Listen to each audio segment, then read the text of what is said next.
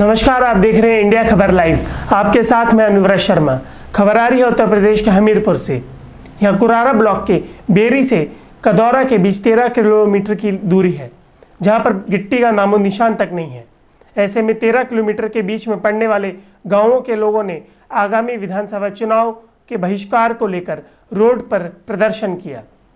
इस प्रदर्शन में लहरा ककरऊ और खरेटा गाँवों के लोगों ने चुनाव बहिष्कार करने का संकल्प लिया है। लोगों का कहना है कि जब तक उनकी मांग पूरी नहीं होगी, तब तक वह चुनाव का बहिष्कार करते रहेंगे।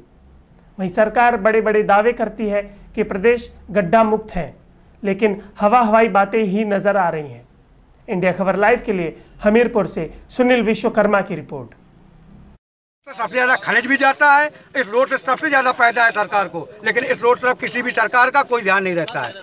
इसलिए हम सब ग्रामवासी मिलके ये हमारा नारा है कि रोड नहीं तो वोट नहीं। क्या नाम है आपका? मेरा नाम रोजिया कौन से स्कूल से पढ़ के आए?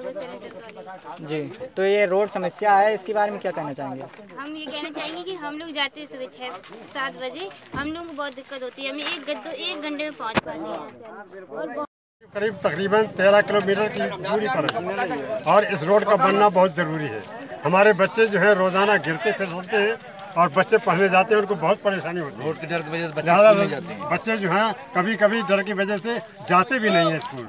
लिहाजा हमारी ये समस्याएँ जो हैं ये जब तक सुलभ न होगी हम वोट नहीं देंगे।